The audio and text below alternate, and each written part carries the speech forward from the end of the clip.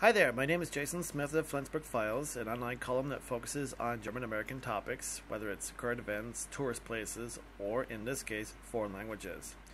And I'm going to present you with a new topic that uh, is also is also one that people don't really pay much attention to unless they learn the rules and stuff, and that is with singular versus plural words, be it nouns or verbs. And henceforth, we have this wonderful topic for, for, for a tongue twister when foxes become witches and radishes become fishes. We're looking at words that have the ES ending. Now, what is that supposed to mean? Very simple. We're looking at uh, the ES forms for noun forms, for example, that are used for plural forms. So basically, words that have an endings of S, X, C, H, or an SH, they normally have an ES ending when it's plural. And in this, and, uh, in this case here, of course, it's also voiced. So if we take a look at some of the examples here, um, the singular for witch is witches. Uh, for singular bush, it's bushes for plural. Fox in plural form is foxes, and bus, buses. The same rule applies for words with z or z at the end.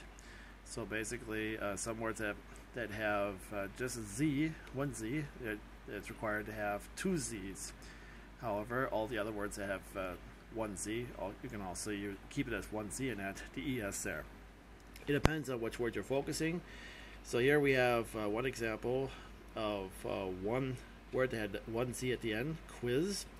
And of course, the plural form is an additional z-es, and it's pronounced quizzes. Now we do have one another word, waltz, as a type of waltz dances. And uh, there we have waltz is singular, and in plural form it's waltzes. Therefore, the z is the same here. So for a noun form in plural, it's always, as a general rule, um, with es at the end, if, if it's only plural, that is. However, um, it's a bit different when we talk about verbs.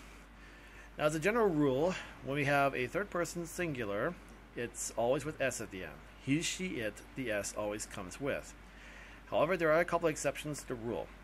Um, the first exception, of course, is when you have a verb that has an O at the end, then as a third person singular, you can use ES at the end. So, for example, go as in GO, and the plural form, uh, and the uh, third person singular form is goes.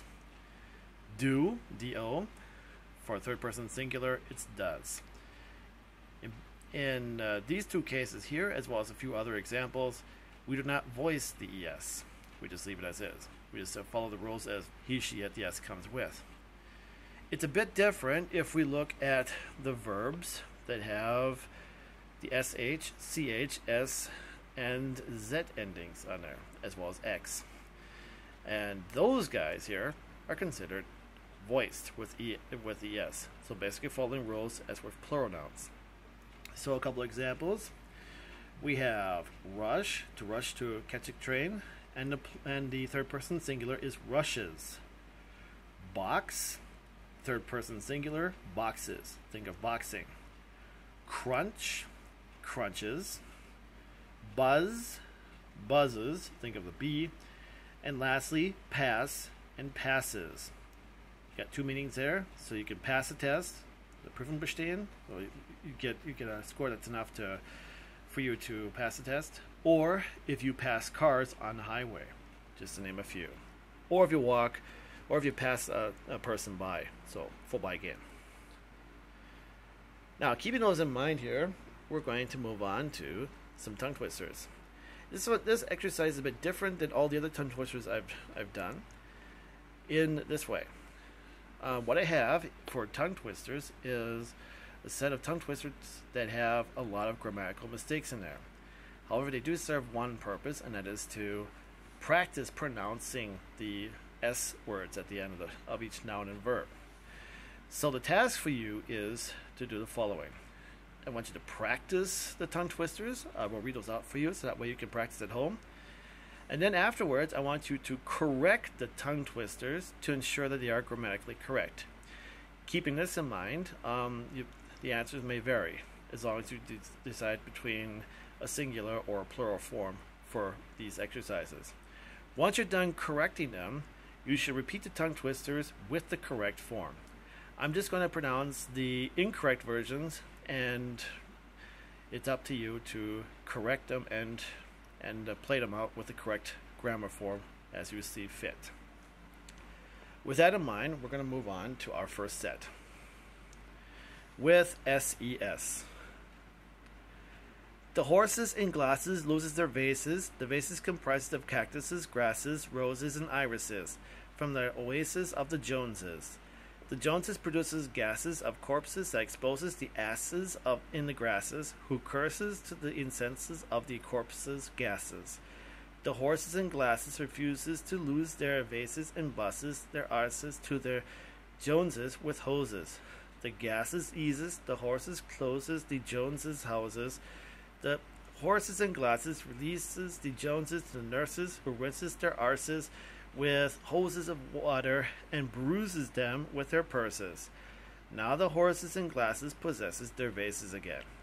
Keep in mind that Joneses is actually a family name, and uh, ass is actually another name for a donkey or a mule. So keep that in mind. And arse is basically the same as uh, your buttocks, and it's British English. Okay, moving on to the next one with XES.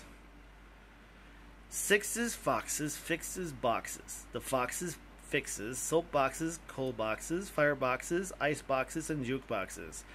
Sixes, lynxes, waxes with beeswaxes. The lynxes waxes the wood waxes, pack waxes, and fruit waxes with sugar waxes made from beeswaxes. Their X's taxes the foxes and lynxes, and now they axes them with cowpoxes, chicken poxes, and smallpoxes, and the waxes and boxes they nixes.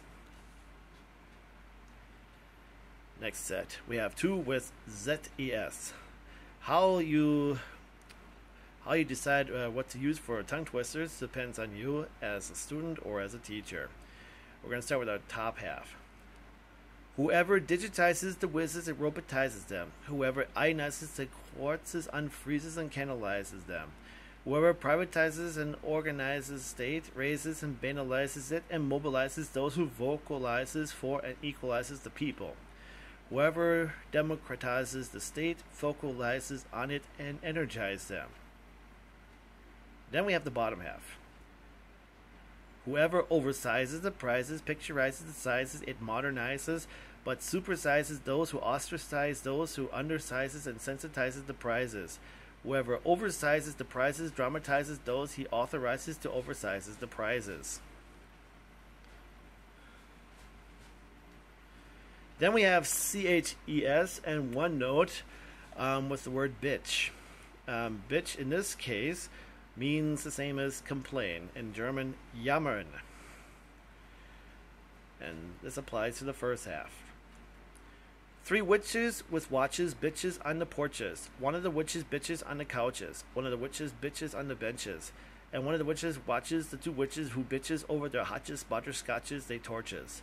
Butterscotch is a type of candy, by the way.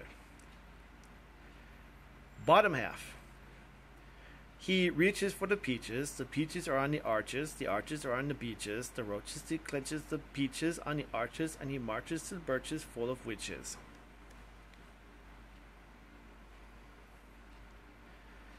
Then we have the SHES, the shiz. Again, we have uh, the name Josh, and of course, we do have the plural form, which is Joshes. Seven Joshes, fishes for fishes. The fishes splashes near the bushes. The seven Joshes dashes to the bushes. They smashes the bushes with brushes. The fishes dashes away from the bushes. The fishes refreshes and ambushes the jo- Joshes. The Joshes crashes into the mushes, and now the fishes punishes the Joshes with varnishes and trashes from the mushes. And last but not least, the mixed form. The foxes play catches with radishes in the churches. The foxes rushes from boxes to benches and fetches the radishes. The foxes catches the radishes in dishes full of grasses and mosses. The witches made the grasses and mosses in dishes, and now the witches watches the foxes with the radishes, and they toss the dishes with grasses and foxes into the marshes full of fishes, larches, and walruses. Okay, I hope this all helps here.